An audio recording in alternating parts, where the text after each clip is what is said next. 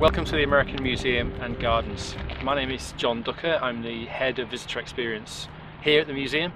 Um, uh, the museum really is the only uh, of its type with a unique collection of uh, Americana, decorative and folk arts from, uh, from America. You'll be able to see quilts, uh, folk art, maps uh, and period room settings evoking life in early America. As part of our visitor investment in the Museum Gardens, uh, last year we launched our new American garden and transformed Mount Vernon Garden.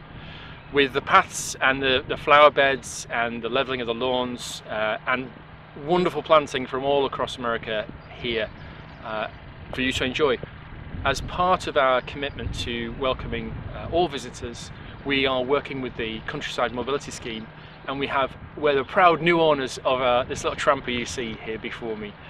We hope that people will enjoy their visit uh, to the gardens and this tramper will help them uh, access some of the areas where maybe they've, they've not been able to in the past. We look forward to welcoming you to the American Museum and Gardens very soon.